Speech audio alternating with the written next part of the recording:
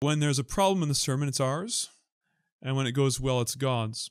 And so our goal is to look at how we can participate and be involved in the sermonic process in a way that God has ordained to allow his power to shine through in the gospel.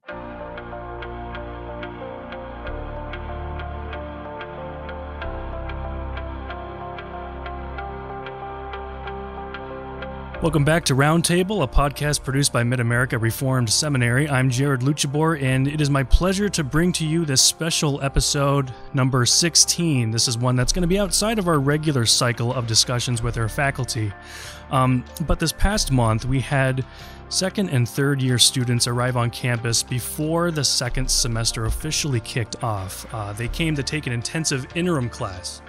Uh, there's a new class that's offered each year, and this January happened to be one on advanced preaching, specifically uh, on communicating God's voice in our weakness. It's a class that seeks to uh, teach advanced principles for communicating God's word with a primary focus upon the preached sermons. So, uh, here to elaborate more on that and joining us here on campus to teach this interim class is Reverend Greg Bylsma. He's an alumnus of 2005 and pastor of Living Water Reformed Church in Brantford, Ontario, up in Canada. Reverend Bylsma, uh, Greg, thanks for being here.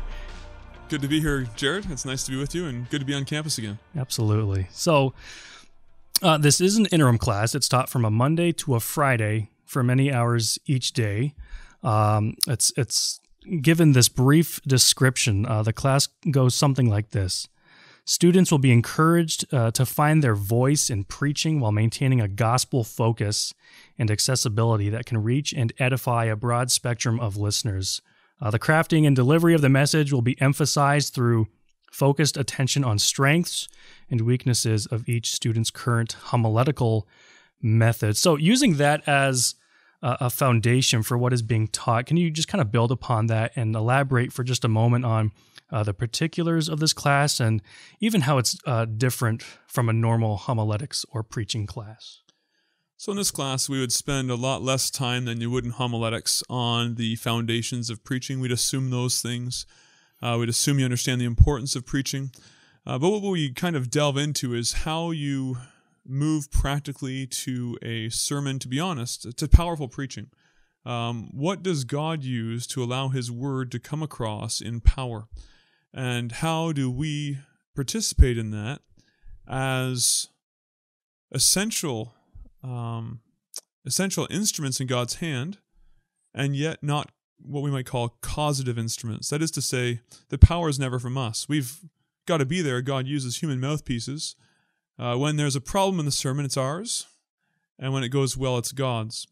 And so our goal is to look at how we can participate and be involved in the sermonic process in a way that God has ordained to allow his power to shine through in the gospel.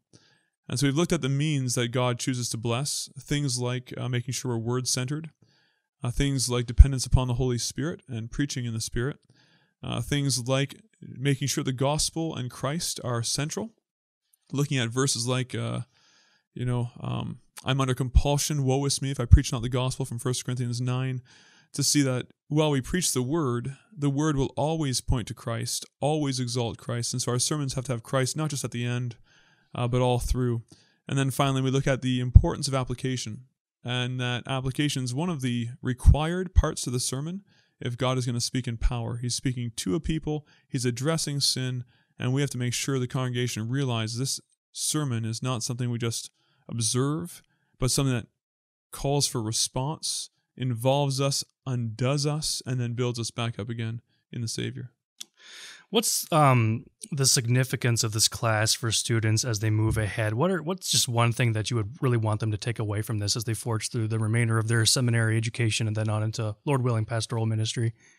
Yeah, the one thing I want them to take away that's that's good. I think I think the idea that they can have confidence in the pulpit that God will speak. One of the verses we hit early on was Romans 15, I believe it's verse 27, where Paul writes to the Roman church and says to them something along these lines that when I come to you, I'm confident I'll come to you in the fullness of the blessing of Christ.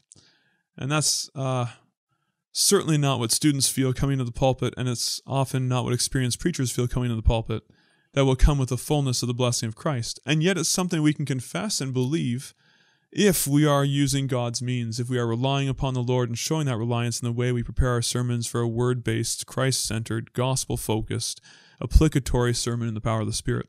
Uh, so I want them to be able to come into the preaching to grow personally, to see how their own preaching needs to mature, evolve, uh, focus on application, and to proclaim Christ in a way that is accessible and uh, glorious.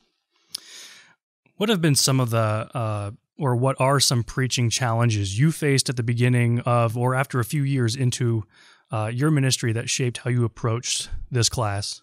Preaching problems in the beginning of minute. There's so many to, to, to, mention. I don't know if I could get them all. Uh, that's actually part of the fun of, of seeing a class like this. Um, looking back at the first response I had after preaching my first sermon, I'm shaking hands at the door as people leave, and I have an beautiful elderly saint who comes up to me and tells me she was in a different church the week before. And that church happened to have a good friend of mine from seminary as the intern there, and I asked if she heard him speak. And she said, Oh, yes, I heard him. I loved him. I didn't like you at all. And it was just a wonderful opportunity. I was wow. on cloud nine. I was done my first sermon. It, it, it didn't hit me. But uh, when you speak of the, the failings and the weaknesses in the early stages, and even now, uh, I guess that's why we added the words. Um, seeing God preach in power in spite of our weakness, uh, learning not to fear the fact that we're human, uh, learning not to fear the fact that we'll make mistakes, that we'll, we'll have times where we might have missed the context, might have missed the passage. And that's horrible, and that's a sin before God, and that's detrimental for the church, but it's something Christ forgives. And to be able to have the students have the freedom to recognize their own weakness and yet go into the pulpit with confidence, trusting in Christ, I think that would be a big thing that was shaped by um, early mistakes and failures and continuing mistakes and failures in the ministry. How can our uh, preaching retain its distinctively confessional and reformed character without losing the attention of guests and uh, visitors who might be unfamiliar with reformed or even biblical language and categories? That's a great question. We really delved a lot on that. Actually, we spent a lot of time on that whole topic. Uh, a couple things to say right away. Um, being reformed and knowing the beauty of the reformed faith doesn't mean we need to talk in inaccessible language. Um, we don't need to uh, use all the names of our theology all the time, and we certainly need to make sure when we do speak of our theology that we're showing the content uh, and not presuming.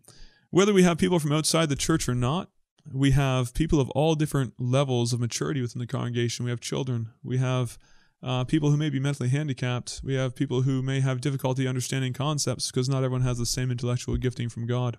And the gospel, in the end, is a very simple gospel. Even the Reformed gospel is a simple gospel. It's beautiful, it's deep, it's rich, but it's not only for the PhDs. Uh, so we've spoken a lot of how to take moments to explain things, to take moments to catch people up, to take moments just to acknowledge there are people in the congregation who may not understand, may not know Jesus yet, and to address them, to let them know it's okay, let them know we're glad they're there, let them know that we're available to help, to explain a simple concept to them during the sermon. And that the preaching is not just effective in terms of what you say, but to try and teach the students that they're modeling a character for dealing with weak Christians or less mature Christians, and also that you're modeling a character for how to deal with unbelievers. If we constantly speak in the pulpit of unbelievers with a sneer, if we address unbelief only in terms of its uh, horrific nature, uh, we're not showing and we're not modeling how Christ responds to the worst of sinners. And so we're trying to teach the kids how to speak, uh, the students, pardon me, in, in the pulpit uh, in a way that recognizes fallen mankind, that recognizes the hardness of heart, but also loves them, and tries to speak in a way that can reach them or at least let them have an ear to hear the gospel. And our focus has been through things like apologetic asides, uh, where you let the congregation know, I'm just going to speak for a moment now to those who don't know Christ. I'm going to take a moment to speak now to those who may not understand this term. Uh, even pastoral asides, where you might stop the sermon in a sense and say, Now, I just want to address this issue that I know some of our members are facing right now. And how you can do that without losing the congregation, but at the same time capturing uh, the attention, the focus, the mind of those who may be uninitiated in the gospel. Hmm. What are some resources that pastors or even those uh, who might be listening, who might uh, anticipate taking seminary classes and preaching classes someday, what are some resources that they can use for uh, refining and improving their preaching? So in our class, we had a, few books we used. Uh, we used uh, Princeton and Preaching by Gerritsen, uh, but we had a bit of a focus also on a couple books by uh, Pastor Zack Eswine. Uh, one was called Preaching to a Postmodern Everything, I believe, and the other was called Kindled Fire. Uh, those two books, they can be a little thick, especially the Preaching to a Postmodern or Post All Everything, whatever book that is. that book is very thick. It has a lot in there. Uh, so we focus on sections of it and try to digest it. But that would certainly be a book that uh, would help people realize how to speak to others. But I think one of the primary ways to grow in preaching is to be mentored, or whether you ever talk to your mentor or not, to listen to good preachers. Listen to preachers who are able to address unbelievers. Listen to preachers who are able to uh, be gentle in the way they speak and yet direct, uh, and and learn from them as they show us Jesus.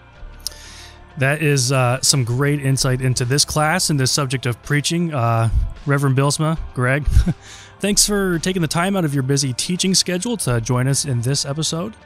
Um, but also, thank you so much for taking the time outside of your pastoral duties up north in Canada uh, to come down here to Dyer, Indiana to teach our, our students. Thank you so much for that. It's good to be here, Jared, and see a fellow Canadian thriving in the mid America. Absolutely. We know how to do it, don't we? Well, next time on Roundtable, a few of our faculty members got together to discuss outreach. Until then, stay tuned.